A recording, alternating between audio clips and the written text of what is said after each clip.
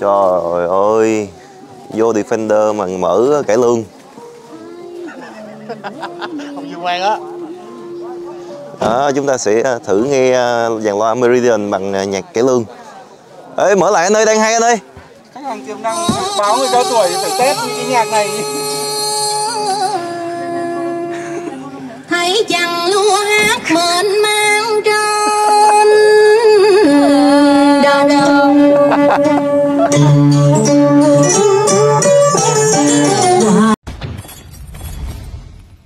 Tôi xin chào mọi người, mình đang có mặt tại à, Ba Vì, một cái nơi mà cách Hà Nội khoảng à, hơn một giờ đi xe và không khí đang khá là dễ thương ở đây. À, hôm nay mình tới tham dự một cái sự kiện ra mắt xe của Land Rover Việt Nam à, mobi, do là Phú Thái Mobility đó họ phân phối. Thì à, hôm nay họ ra mắt một chiếc xe rất là đặc biệt đó là một chiếc à, Land Rover Defender 130. À, trước đây thì họ đã có hai chiếc nhỏ hơn à, và bây giờ thì họ lại có một chiếc to hơn. Và ba chiếc xe này cùng phân khúc uh, Defender là một những chiếc xe mà khiến cho những người nào mà thích đi off-road và thích những chiếc xe uh, mang cái tố chất gọi là đi khám phá nhưng mà giá nó rất là cao thì có thể uh, nghĩ qua Land Rover Defender. Và bây giờ chúng ta sẽ cùng uh, tìm hiểu thêm chi tiết về chiếc uh, Land Rover này ha rồi, rồi chúng ta sẽ thấy ở đây là có ba chiếc à, Defender. À, một chiếc à, chỉ có hai cửa. Chiếc bên kia chỉ có hai cửa. Với chị đang đứng à, núp sau kính kìa. Chiếc này thì có bốn cửa. Và chiếc này là chiếc à, hôm nay ra mắt nè dài thòng lòn luôn. Thì ba phiên bản này nó khác biệt nhau về chiều dài cơ sở cũng như là cách bố trí ghế.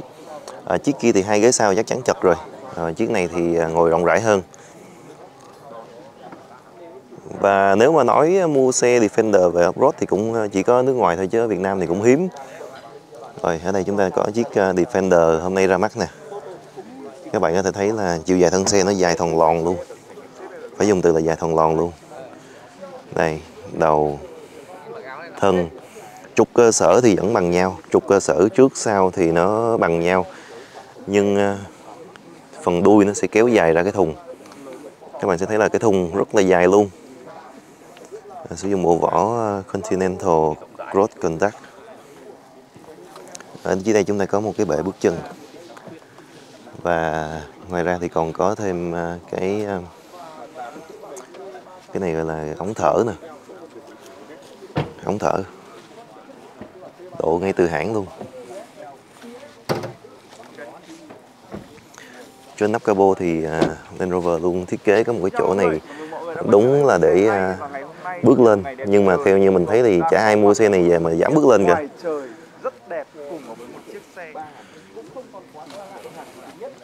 Giờ mình sẽ ra phía sau để xem phía sau trước tại vì à, phía trước các anh em khác đang làm à, review rồi. Đây cái phần cốp sau. Các bạn có thể thấy phần cốp sau.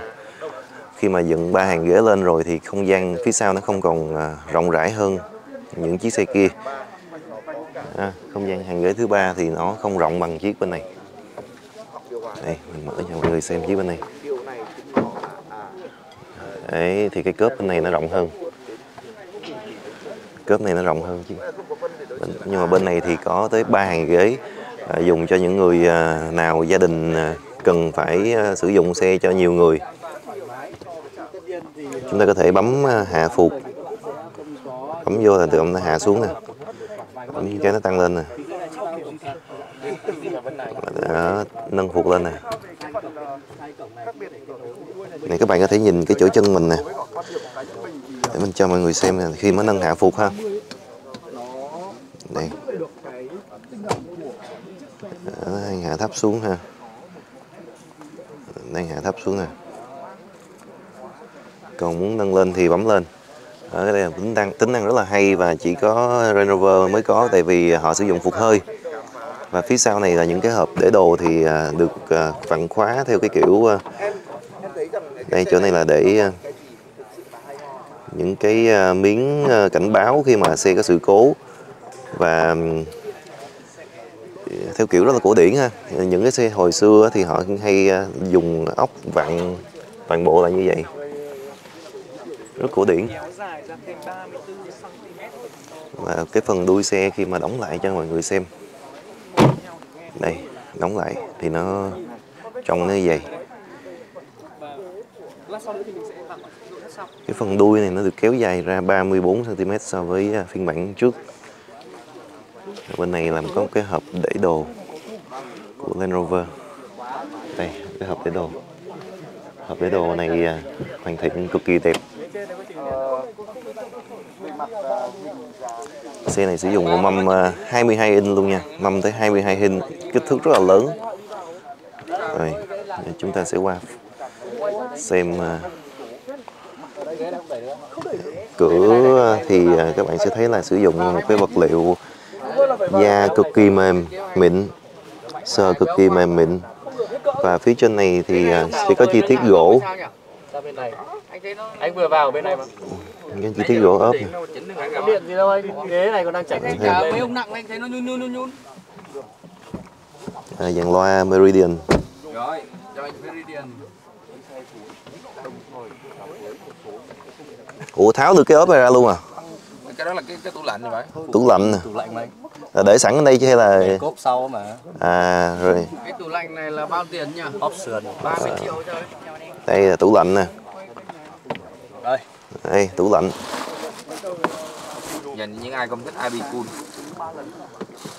Avicun là của Trung Quốc mà em cứ so sánh sao mà so được không biết nữa. Đây là phụ kiện đi kèm của chiếc Land Rover Defender 130 này. Một chiếc tủ lạnh mini. rồi phần nội thất nè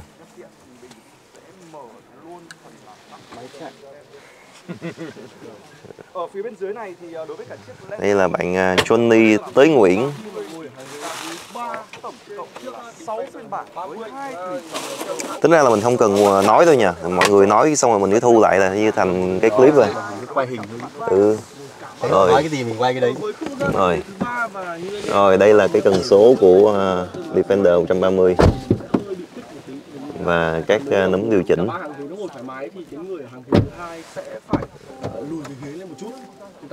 anh anh linh. Hình rất là đẹp nhờ luôn. Tấm nội thất cái rồi là em em đi ra luôn á. anh tiến anh tiến cho em nhờ nhờ cái tấm nội thất ok rồi cảm ơn em mình rất là thích vật liệu ở trên cái cửa. Sờ nó đã lắm. Sờ rất là mịn tay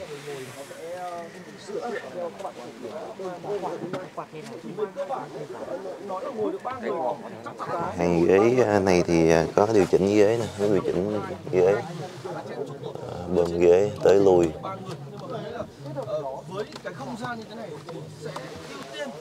à, chính giữa này thì sẽ có một sẽ có một cái học à, để đồ này cái này sẽ có học để đồ. Học để đồ chính giữa này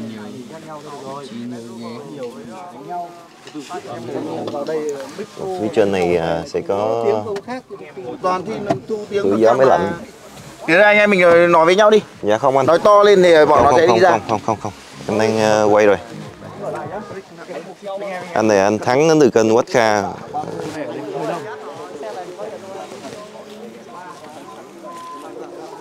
rồi phần ờ, đầu đèn. Giờ mình mới được ờ, ra xem cái đầu đèn nè. Đây phần đầu đèn thì cũng giống như chiếc ờ, Land Rover khác. Tuy nhiên mình thấy là hình như cái đèn trước nó hơi khác tí xíu như vậy Trời ơi Vô Defender mà mở cải lương. Không như quen á. Đó, chúng ta sẽ à, thử nghe à, dàn loa Meridian bằng à, nhạc cải lương Ê mở lại anh ơi đang hay anh ơi. Khách hàng tiềm năng báo người cao tuổi phải test những cái nhạc này. Thấy chàng lúa hát mến mang trên đồng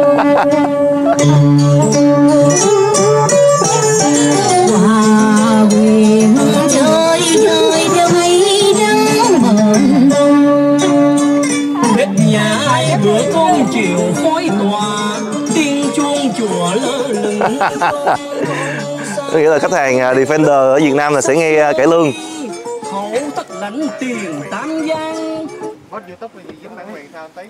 Nhạc này không có bản quyền đâu ba. Làm nào chụp chân dài mày nhá. Chân ngắn để em bắt Rồi đây là phần à, khối động cơ. Thấp nhất có giá bán là 5 Vậy dùng AI xóa hết 189 triệu đồng thì công suất của nó là 300 PS. Còn với bốn phiên bản cao cấp hơn thì với cũng động cơ đó, nhiên nó sẽ kết hợp với động cơ kết hợp với Miu Hybrid tạo ra công suất là nào đẹp được 400 PS và 550 Nm vào nhá sẽ mạnh mẽ hơn khá nhiều so với phiên bản tiêu chuẩn và đi cùng với đó là giá bán của nó sẽ tăng thêm khá là nhiều. Bản là cao nhất là Defender 130X thì có giá bán là 7 tỷ 909 triệu đồng các bạn nhé. Đó là khối động cơ V6 3.0 lít trên Rover Rồi, đây là khối động cơ nè. Đây các bạn công nghệ Ingenium Máy này là 3.0 V6 và có uh, bộ ờ, pin 48V My Hybrid để hỗ trợ cho việc tăng tốc giúp chiếc xe này à, tăng tốc mạnh hơn. Ờ, cảm ơn anh tới à, nãy giờ mình không biết thông tin à, nhờ anh tới review mà mình mới biết ờ, công suất của chiếc xe này 300 với lại 400 PS tới Đây tôi đây chị cho kiểu tự sướng kiểu này Dương dạ vâng nhìn cái phần thân xe của chiếc này đã quá nó dài phê lắm.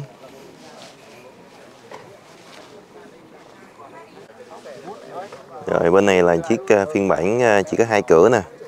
Bên này là chiếc ờ, bốn cửa bên này là chiếc dài thòn lòn. Thì ba phiên bản này dành cho ba thể loại người khác nhau.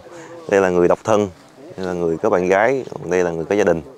À, đây là chúng ta sẽ xem cái phiên bản dành cho người độc thân nó như thế nào. À, chiều dài cơ sở thì à, hai chiếc kia bằng nhau chiếc này nó ngắn hơn thì sẽ cho cái vận hành nó linh hoạt hơn cũng như là đi off-road tốt hơn góc tới góc thoát cao hơn. Đó thì trông nó giống nhau vậy thôi nhưng mà vận hành nó sẽ khác nhau. Rồi chúng ta sẽ nhìn vào nội thất. Cũng à, tương tự như chiếc kia thôi không có gì khác biệt nhiều không khác nhiều. Đó. màn hình rồi tất cả mọi thứ thì à, không có gì à, khác cả. Học để đồ thì cũng tương tự nhau. Chỉ có một cái là chiếc này khi mà muốn chui vào thì à, chui vào phía sau thì chúng ta sẽ mở cái lẫy trên này. Mở cái lẫy trên này. Kéo ghế à, bấm nút. Thì cái ghế tự động nó chạy ra người trước.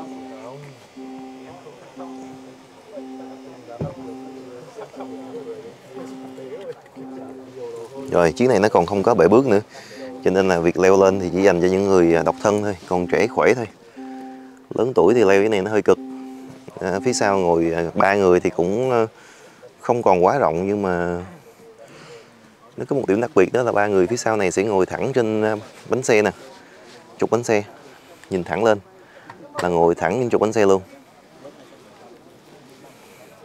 Rồi giờ mình bấm cho nó về vị trí bình thường phải bấm giữ. Bấm giữ. Đó, bấm giữ thì nó sẽ ờ, lùi lại. Rồi mình ờ, sẽ bật ra về vị trí bình thường ha.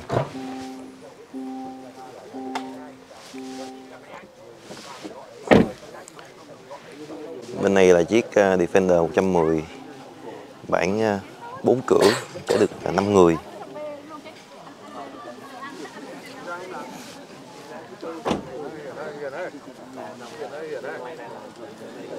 Chiếc này thì ờ, ngoài sau nó sẽ rộng hơn và để đồ nó cũng ờ, thoải mái hơn. Nó sẽ cùng ờ, nhìn cốp xe của chiếc 110 ha.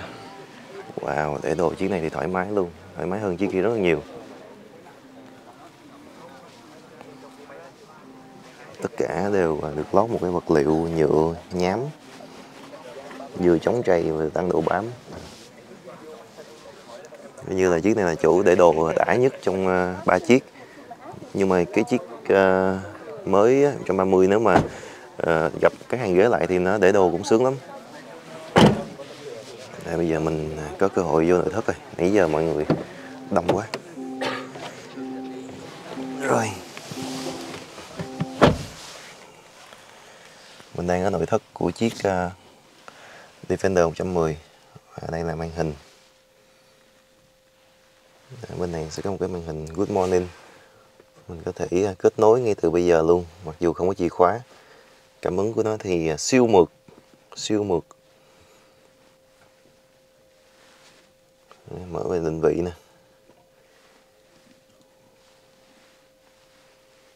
Siêu mượt luôn á. Rồi cần số sẽ nằm ngay tay mình luôn coi như là chúng ta sẽ để tay ngay đây để à, vào số. Rồi các núm chỉnh này thì chúng ta sẽ chỉnh các chế độ lái nè nâng hạ gầm nè. Đó rồi à, hai cổng à, sạc bên dưới này. Rồi khởi động động cơ thì engine start stop trên này. Rồi à, sau khi mà đi một vòng những chiếc xe Land Rover ờ, trong ngày hôm nay thì à, mình thấy đó là ba chiếc xe này dành cho ba loại người khác nhau. À, loại người chưa có gia đình thì sẽ thích cái chiếc à, ngắn kia và thích đi off road cái loại người mà có gia đình rồi và cần không gian để đồ rộng hơn á, thì sẽ đi cái chiếc uh, chiếc này chiếc này à, 110 còn chiếc 130 kia là sẽ đi cả gia đình luôn bởi vì nó có 8 chỗ ba hàng ghế. Và đúng nghĩa là 8 chỗ luôn nha phía trước là hai chỗ và ngoài sau hai hàng sau là 33 và không gian để chân là nó lên tới 80 cm ở hàng ghế thứ ba cho nên là rất là rộng rãi. Tí nữa mình sẽ vào cho mọi người xem. Thì điều đó chứng tỏ đó là Land Rover và Defender là họ đã làm ba chiếc xe dành cho ba loại người khác nhau, ba nhu cầu khác nhau. Mình thấy là một cách cũng rất là hay, tại vì trước giờ chúng ta mua xe thì sẽ mua những chiếc ờ, gọi là nó khó có sự lựa chọn. Ví dụ chúng ta sẽ chỉ lựa chọn được một chiếc xe à, 5 chỗ họ còn muốn 7 chỗ thì qua một cái phân khúc khác. Nhưng mà Defender họ lại làm ra ba chiếc xe cùng một phân khúc xe, nhưng mà ba thể loại khác nhau. Cho ba loại người khác nhau thì mình thấy là cái cách làm của Land Rover cũng khá là hay đó. Khá là hay.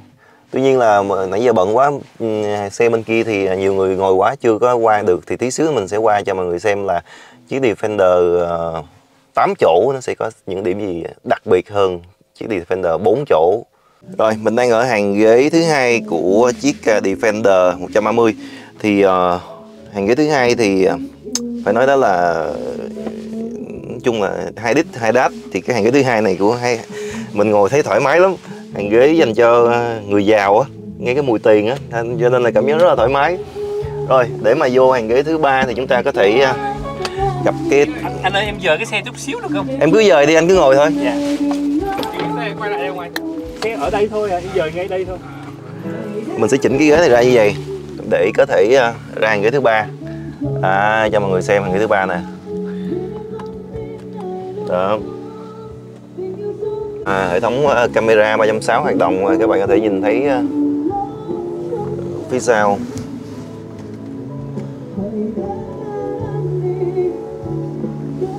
Đây. Phía trước.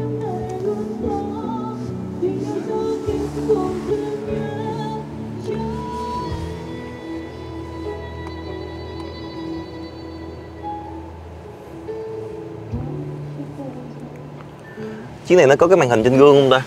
Dạ chiếc này là không. À chiếc này không có màn hình trên gương. Trên chiếc 90 90 với 110 130 không có màn hình trên gương. Và đặc biệt đó là chúng ta sẽ có một cái cửa sổ trời dành cho hai hàng ghế. Và ba hàng ghế luôn. Hàng ghế thứ ba cũng có cửa sổ trời luôn mọi người. Rất là đặc biệt. Coi như là cách của Range Rover làm đó là chúng ta sẽ có thể à, trải nghiệm cái không gian à, gọi là Ờ, cùng gia đình đi ờ, off-road rồi đi ờ, khám phá dã ngoại cùng nhau và tận hưởng không khí bên ngoài. Rồi, mình sẽ ra hàng ghế thứ ba cho mọi người xem. Thông cảm nha, tại vì chương trình này mình chỉ được mời một mình thôi, cho nên là phải tự quay, không có quay phim đi theo. Góc quay nó hơi tùm lum là la xíu. Rồi, bây giờ mình đang ngồi hàng ghế thứ ba thì các bạn sẽ thấy chỗ để chân của mình nè bây giờ mình sẽ qua cái chỗ ghế phía sau. Đó, các bạn thấy chỗ chân của mình so với ờ, phía trước nè. Chung là đây là cái hàng ghế mà có thể nói là ngồi được. Không phải là dạng ờ, ghế mà uh, cho có đâu. Đây là hàng ghế có thể ngồi được. Đây cho các bạn xem.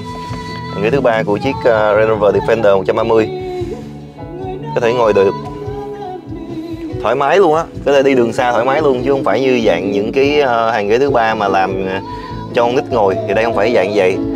Là ngồi thoải mái luôn.